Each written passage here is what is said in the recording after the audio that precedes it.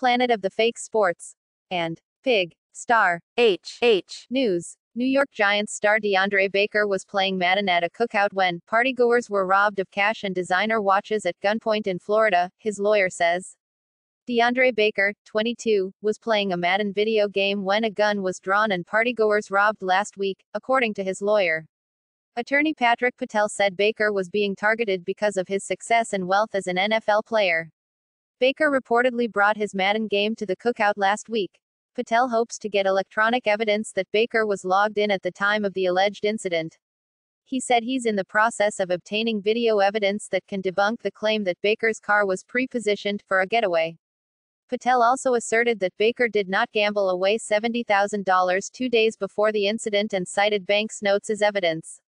Baker and Quinton Dunbar, 27, are each wanted on four counts of armed robbery with a firearm. Baker faces an additional four counts of aggravated assault. He allegedly brandished a gun at partygoers and directed a person to steal from them. NFL star DeAndre Baker was playing the Madden video game when a fight broke out at a Florida cookout and partygoers were robbed at gunpoint, according to his lawyer.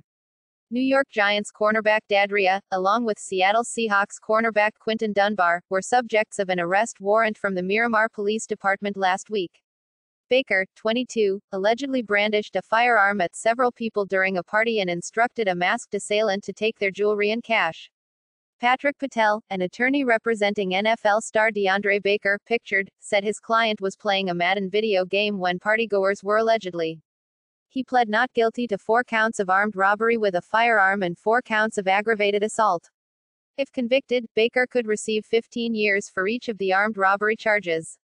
Patrick Patel, one of Baker's lawyers, told New York Post that it's impossible that his client performed such egregious acts because he was playing Madden at the time. Far from an individual who's going somewhere with an alleged intent to rob somebody, an armed robbery, to go there and hook up his Madden game, play the game for over an hour and then leave it there and go home, said Patel. Patel and Bradford Cohen, another attorney representing Baker, suggested that Baker has become a target due to his reputation and wealth as an NFL football player.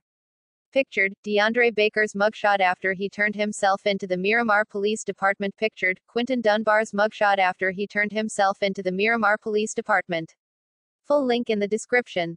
Go to www.amore-ica.com. We are the new umbrella. Share on Facebook. Share on Twitter. Share on WhatsApp. Share via email.